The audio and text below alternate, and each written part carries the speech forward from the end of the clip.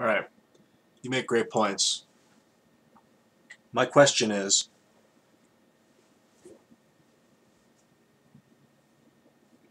what happens? The government keeps borrowing money from the Federal Reserve and eventually the Federal Reserve is going to say no and the government's going to be like I need to borrow money, man. I need to pay these kids debt off or whatever the fuck and they're like no, we can't loan you any more money. The Federal Reserve. Would it do that? If it had enough of an established threshold, because the Federal Reserve is just a tentacle of the World Bank and the International Monetary Fund, which are like two big, large things, corporations above you know, Federal Reserve, the Bank of London, and Bank of Australia, I think. Um, it's an Australian bank. And then above that is the brain, which is the central bank of central banks. Maybe the central bank of London, I think. I'm not sure. So, if they have enough, you know, and then they all own corporations and like, or have investitures in corporations like Bain Capital, who owns, uh, you know, like, oh, crazy. Some something that owns like all the banks or a bank, you know, or like and like Coca-Cola, but Coca-Cola is owned by like they're owned by like places like Bain Capital, like these names you hear of every once in a while. Like Mitt Romney invested in Bain Capital. He was like the head of Bain Capital for a while. It's like a big investment firm, I guess, which is just a generic term, investment firm for like a puppet firm that's like spends the money of a big money making firm. And this was literally a money making firm because they make the money. Okay, so what happens? Is it feasible that they get so powerful elsewhere and they get so disenfranchised with the United States that they stop giving the United States money? Yes. If the United States was destitute and poor and blew itself up, the banks would probably leave and just be like, yeah, you're on your own. Fortunately, the United States is smart. The United States of America, I know there's the United States of Mexico, and I know that Amerigo Vespucci discovered the continent, which is why it's called North and South America. America. And that beyond the labels, the way that the, the white man or whatever this, um, there's no white and black, I'm tired of it, you know, but the way that this aggressive natured hot animal attacked and killed a bunch of people so fast because they valued land the value of land you know it's so expensive to buy land. If you buy land in Mexico you'll your great grandchildren will be very wealthy.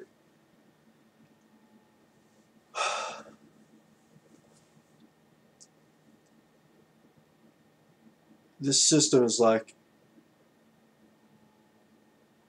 so what do you do? We have to pay back the debt right? This is part of the answer. We can pay back the debt. Now here's the problem debt can bulge bigger than the thing causing the debt and I think our debt might have might, may could do that it's called a debt aneurysm. And just because it's expanding faster than it's getting bigger. Uh, because of interest.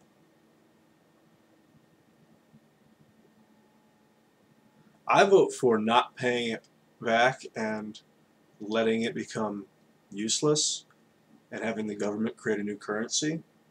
Because the government is the people, and the people are in control of what the people do. Yes, some people made a corporation that prints money and in 1913 signed a treaty with the U.S. government to print their money for them. They're not a government company, they never were. It's like owned by like guys with last names of Rothschild and you know a lot of people. Rothschilds. I'd like to meet him, you know, or her, whoever they are. The uh, Rockefellers, like what a cool name. Carnegie, James Carnegie, I think he was a guy. I don't know.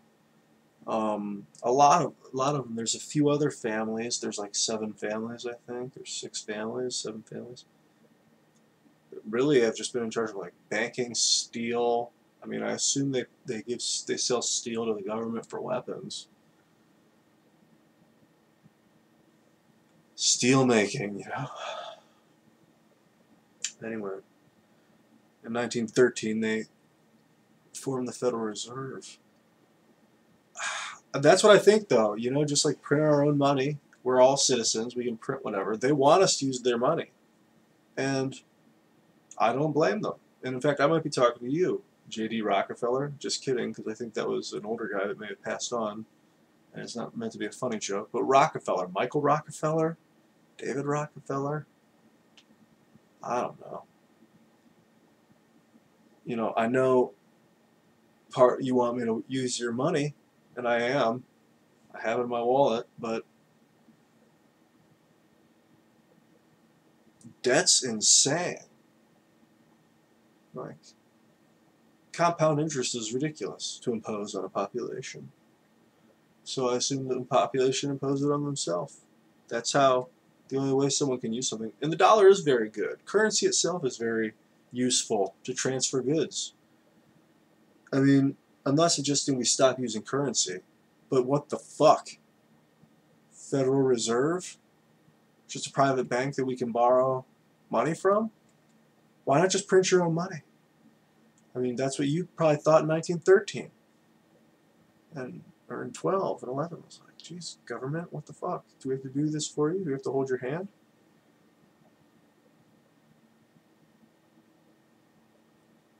It's like I don't want to destroy anyone's livelihood. And I don't want to see other people's livelihoods destroyed. It's, it's a balancing act to get everyone to be able to work together. You know?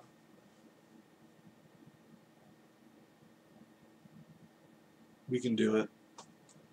Just take some time, some effort, and some adjustability, and realization that whatever you spend money on, there's going to be more of. So, we got to make turn platinum into gold, massively increase our gold reserves because platinum is 78, gold is 79, which means you got a proton to platinum at super high heat and it turns into gold. Theoretically, this is my theory, is that it's cooked.